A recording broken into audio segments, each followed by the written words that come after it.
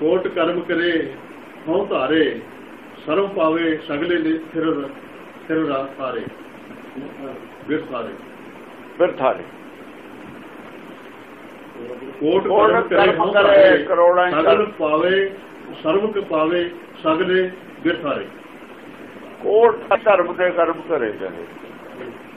ਕਰੋੜਾਂ ਪ੍ਰਕਾਰ ਦੇ ਧਰਮ ਦੇ ਕਰਮ ਕਰਦਾ ਹੋ ਕੋਈ ਕਰਮ ਦਾ ਇੱਕ ਕਿਸਮ ਦਾ ਧਰਮ ਦਾ ਕੰਮ ਨਹੀਂ ਕੋਈ ਧਰਮ ਦਾ ਕਰਮ ਕਰੇ ਧਰਮ ਦੇ ਨਾਂ ਤੇ ਕਰਮ ਕਰੇ। ਕੋਟ ਕਰਮ ਕਰੇ ਹਾਂ ਧਾਰੇ ਪਰ ਜੇ ਉਹਦੀ ਹੰਕਾਰ ਪੈਦਾ ਹੋ ਜਾਏ ਉਹ ਕਰਮ ਦਾ। ਫਿਰ ਉਹਦਾ ਬਿਰਥਾ ਚਲਿਆ ਗਿਆ ਸਾਰਾ। ਸਰਵ ਪਾਵੇ ਸਗਲੇ ਬਿਰ ਸਾਰੇ। ਸ਼ਰਮ ਪਾਵਾ। ਹੈ ਸਰਵ ਪਾਵੇ ਜੋ ਜੋ ਇਹਨੂੰ ਕਾਲ ਕਮਾਈ ਤੋਂ ਪ੍ਰਾਪਤ ਹੋਣੀ ਉਹ ਸਭ ਕਿਸੇ ਬਿਰਥਾ ਚਲੀ ਜਾਂਦੀ। ਜੋ ਪ੍ਰਾਪਤੀ ਉਹ ਵੀ ਬਿਰਥਾ ਕੋਈ ਵੀ ਪ੍ਰਾਪਤੀ ਕਰ ਲੋ ਸਭ ਬਿਰਥਾ ਅਵਰ ਕਾਜ ਤੇਰੇ ਕਿਤੇ ਨਾ ਕਾਮ।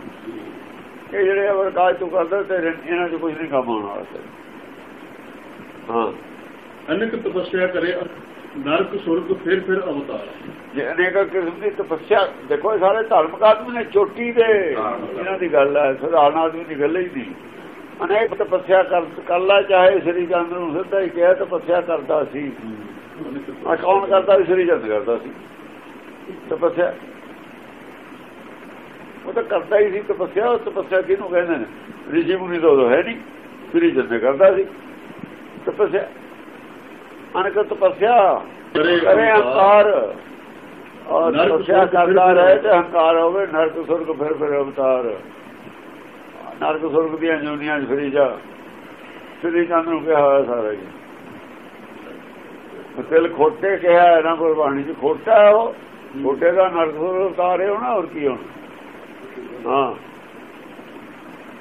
ਅਨੇਕ ਜਦਰ ਕਰ ਆਤਮ ਨਹੀਂ ਦਰਵੈ ਹਰ ਦਰ ਗਏ ਤੋ ਕੈਸੇ ਗਵੈ। ਅਨੇਕ ਜਤਨ ਕਰ ਆਤਮ ਨਹੀਂ ਦਰਵੈ। ਜੇ ਅਨੇਕਾ ਜਤਨ ਕਰਦੇ ਬਾਵਜੂਦ ਵੀ ਜਿਹੜਾ ਤੇਰਾ ਮਨ ਹੈ ਦਰਵਿਆ ਨਹੀਂ ਹੈ ਮਨ ਪਿਗੜਿਆ ਨਹੀਂ ਹੈ ਮਨ ਮੰਨਿਆ ਨਹੀਂ ਹੈ ਹਾਂ। ਹਰ ਦਰ ਗਏ ਤੋ ਕੈਸੇ ਗਵੈ। ਦਰਵਿਆ ਦਾ ਮਤਲਬ ਅੱਗੇ ਚੱਲਿਆ ਨਹੀਂ ਵਧਿਆ ਨਹੀਂ। ਉਹ ਜੁਦੀ ਜੁਦੀ ਜਾਂਦਾ ਨਾ ਪ੍ਰਾਪਤ ਭਾਰਤ ਹਾਂ ਹਾਂ ਉਹਨੂੰ ਪਤਾ ਹੈ। ਅੱਗੇ- ਅੱਗੇ ਮੈਂ ਦਰਿਆ ਦੇ ਰੂਪ ਚੱਲਣਾ ਹਾਂ। ਅਨੇਕ ਜਤਨ ਕਰ ਆਤਮ ਨਹੀਂ ਦਰਵੈ ਹਰ ਦਰ ਗਏ ਤੋ ਕੈਸੇ ਗਵੈ। ਫਿਰ ਹਰ ਦਰਗਾਹ 'ਚ ਕਿਵੇਂ ਪਹੁੰਚੇਗਾ ਤੁਰਿਆ ਹੋਇਆ ਆਦਮੀ। ਜਿਵੇਂ ਬਰਫ਼ ਦਾ ਢੋਲਾ ਹੈ, ਉਹ ਜਿੰਨਾ ਚਿਰ ਪਾਣੀ ਨਹੀਂ ਬਣ ਜਾਂਦਾ ਅੱਗੇ ਨਹੀਂ ਤੁਰਦਾ। ਦਰਵਦਾ ਨਹੀਂ। ਨਹੀਂ ਬਣ ਕੇ ਅੱਗੇ ਰੁੜੂਗਾ ਦਰਫ ਦਾ ਅੱਗੇ ਬਹਿ ਤੁਰਨਾ। ਬਹਿ ਕੇ ਤਾਂ ਹੀ ਤੁਰੂਗਾ ਜੇ ਉਹ ਦਰਗੂਗਾ। ਜੇ ਪਾਣ ਕਰੂਗਾ ਜੇ ਪੱਥਰ ਰੂਪ ਹੈ ਬਰਫ਼ ਦਾ ਰੂਪ ਹੈ, ਬਰਫ਼ ਦਾ ਪੱਥਰ ਹੈ ਨਾ। ਬਰਫ਼ ਦਾ ਹੀ ਪੱਥਰ ਦਾ ਰੂਪ ਹੈ ਹਾਂਜੀ। ਉਹਦੇ ਜਹਰ ਦਰਗਾਹ ਕੋ ਕੈਸੇ ਕਬੇ ਉਹਦੇ ਜਿੱਥੇ ਰੱਖਦਾ ਪੱਥਰ ਹੁੰਦੀ ਹੈ ਉਹ ਕਿਵੇਂ ਚਲਾ ਜਾਊਗਾ। ਹਾਂਜੀ। ਉਸ ਕੋ ਜੋ ਭਲਾ ਕਹਾਵੈ, ਕਿਸੇ ਭਲਾਈ ਨਿਕਟ ਨਹੀਂ ਆਵੇ। ਆਪਸ ਕੋਈ ਭਲਾ ਕਹਾਵਾ ਜਿਹੜਾ ਲੋਕਾਂ ਤੇ ਇਹ ਆਸ ਰੱਖਦਾ ਹੋਵੇ ਵੀ ਮੈਨੂੰ ਭਲਾ ਕਹਿਣ। ਇਹ ਆ ਭਲਾ ਕਹੂਦਾ ਹੋਵੇ ਆਪਣੇ ਚੇਲਿਆਂ ਤੋਂ ਵੀ ਤੁਸੀਂ ਐਂ ਕਿਹਾ ਕਰੋ, ਉਹ ਕਿਹਾ ਕਰੋ।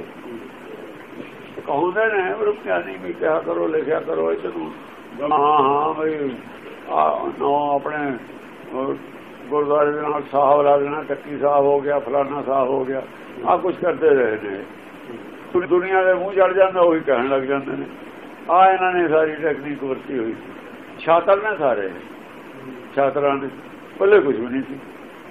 ਬੈਠੇ ਨੇ, ਖੱਡਾ 'ਚ ਬੜੇ ਬੋਲ ਨਹੀਂ ਨਿਕਲਦਾ ਹੁਣ ਬਾਹਰ।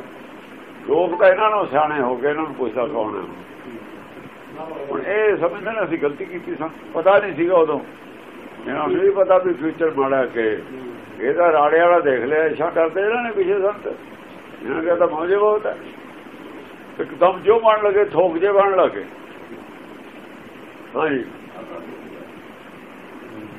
ਸਰਬ ਕੀ ਰੇਨ ਜਾਗਾ ਮਨ ਹੋਏ ਕਉ ਨਾਨਕ ਕਸੋਏ ਸਰਬ ਦੀ ਰੇਣ ਜਾਗਾ ਮਨ ਹੋਏ? ਜਿਹਦਾ ਮਨ ਸਾਰਿਆਂ ਦੀ ਰੇਣ ਬਣ ਜਵੇ। ਸਾਰਿਆਂ ਦੇ ਮਨਾਂ ਨੂੰ ਉਹਦੀ ਰੇਣ ਮੰਨ ਜਵੇ ਸਾਰਿਆਂ ਦੇ ਮਨਾਂ ਨੂੰ ਸਾਫ਼ ਕਰਨ ਵਾਲੀ ਜਿਹਦੀ ਕੋਲ ਧੂੜ ਹੋਵੇ ਉਹਦਾ ਮਨੇ ਆਪ ਧੂੜ ਬਣੇ। ਐਸੀ ਧੂੜ ਬਣੇ ਜਿਹੜਾ ਦੂਜਿਆਂ ਦਾ ਵੀ ਮਨ ਸਾਫ਼ ਕਰ ਸਕੇ ਜਾਗਾ ਮਨ ਹੋਏ।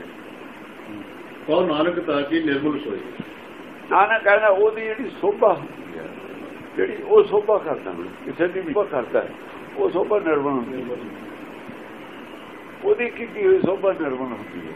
ਗੁਰਬਾਣੀ ਦੀ ਜਿਹੜੀ ਸੋਭਾ ਕੀਤੀ ਹੋਈ ਹੈ ਗੁਰਬਾਣੀ ਦੀ ਸੋਭਾ ਕਰਦੀ ਹੈ ਮਲੀਨਤਾ ਰੱਖ ਕੇ ਸੋਭਾ ਨਹੀਂ ਕੀਤੀ ਬਾਕੀ ਜਿਹੜੀ ਸੋਭਾ ਕੀਤੀ ਹੋਈ ਹੈ ਗ੍ਰੰਥਾਂ 'ਚ ਜੇ ਸ਼ਿਵ ਜੀ ਦੀ ਸੋਭਾ ਕੀਤੀ ਹੈ ਜਿਹਨੇ ਕੀਤੀ ਹੈ ਮੈਲ ਰੱਖ ਕੇ ਕੀਤੀ।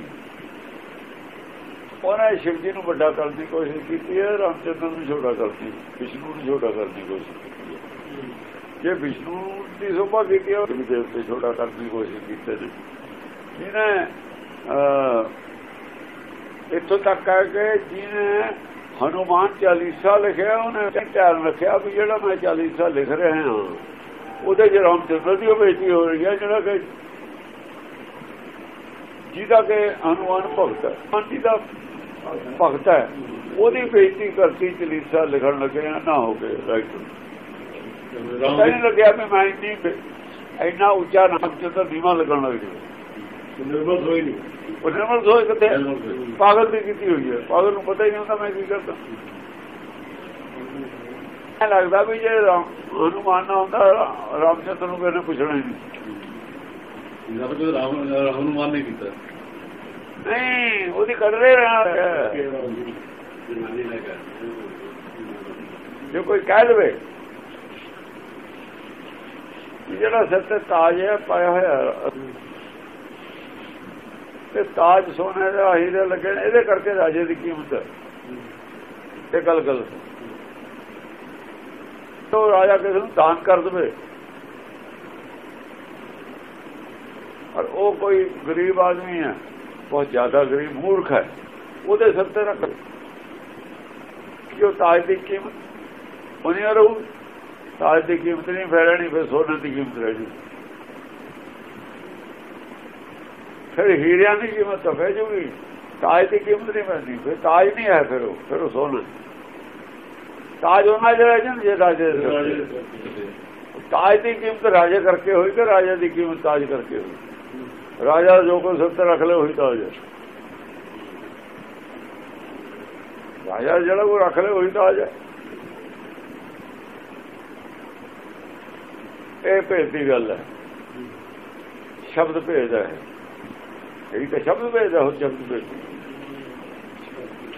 ਹਾਂਜੀ। ਸਰਬ ਕੀ ਰੇਣ ਜਾ ਮਨ ਹੋਏ ਕਹੋ ਨਾਨਕ ਤਾਂ ਕੀ ਨਿਰਮਲ ਸੋਈ ਫ਼ਰਕ ਨਹੀਂ ਮਨ ਹੋਇਆ ਜਿਹਦਾ ਮਨ ਸਾਰਿਆਂ ਦੀ ਰੇਣ ਬਣ ਜਵੇ।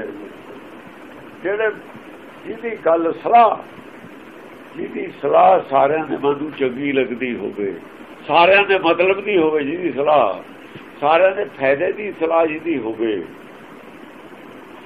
ਉਹ ਸਾਰਿਆਂ ਦੀ ਰੇਣ ਹੁੰਦਾ। ਜਿਹਦਾ ਗਿਆਨ ਸਾਰਿਆਂ ਨੂੰ ਫਿੱਟਾਵੇ ਉਹ ਸਰਬ ਦੀ ਰੇਣ ਹੁੰਦਾ। ਜਾ ਕਾ ਮਨ ਹੋਏ ਕੌਣ ਤਾਂ ਕੀ ਨਿਰਮਲ ਸੋਈ